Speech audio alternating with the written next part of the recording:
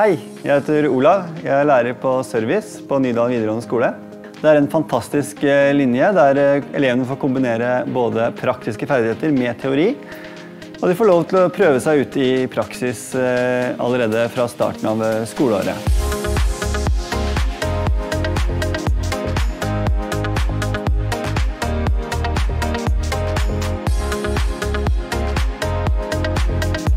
Jeg syns det er egentlig veldig greit å gå på service, fordi her lærer vi veldig mye om kunderelasjoner og komme tettere på mennesker.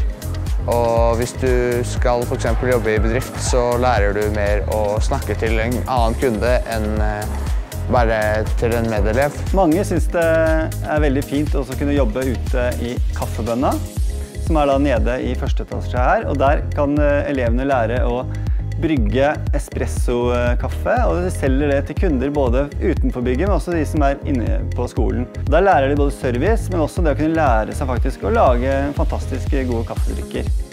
Det beste med service på Nydalen er vel at lærerne og elevene har en veldig bra tone sammen.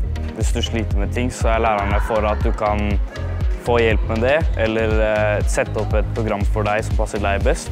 Jeg synes det er ganske chill med praktiske stasjoner, for da har vi ikke bare timer i klasserommet. Vi har også timer her nede hvor vi både lærer å selge kaffe, være hyggelig mot kunder.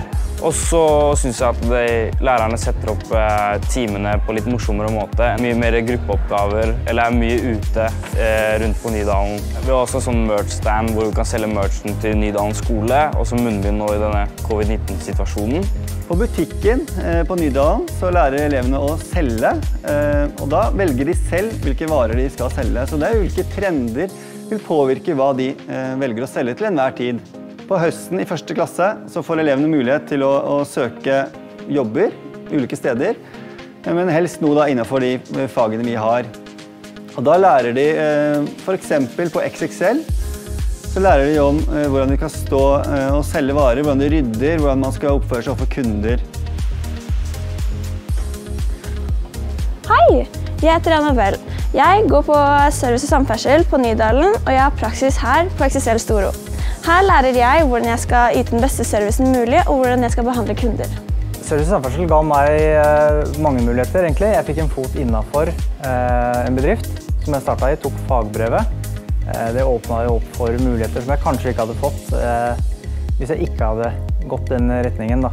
Det som er fint med å ha eh, praksiselever, da, det er muligheten til å lære bort. Og om ikke de nødvendigvis får en karriere i XXL, da, så, så, gir vi dem noe tilbake som de kan ta med seg videre.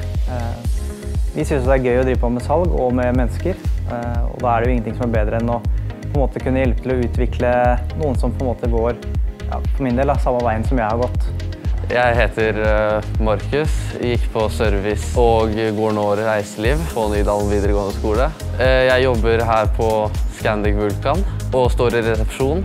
Det jeg pleier å gjøre her, da, er å sjekke gjester inn og ut og hjelpe, hjelpe til med å finne vei til forskjellige steder som folk skal. Andre velger å jobbe i eh, sikkerhetsfaget, og da kan de f.eks. jobbe i Avarin Security eller Securitas. Sånne ting. Det er så kult å gå på Nydalen på service her, så vær så snill, søk, og du er velkommen.